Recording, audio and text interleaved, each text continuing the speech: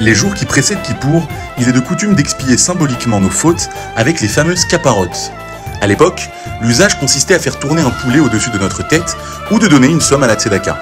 Ce poulet était par la suite offert à des nécessiteux et par ce mérite, nous demandions à Hachem d'expier nos fautes. De nos jours, nos sages recommandent vivement de procéder aux caparottes à travers un don aux nécessiteux. Car ainsi, le mérite de la tzedaka permettra de racheter nos fautes et de passer Yom Kippour blanchi de nos péchés de l'année passée.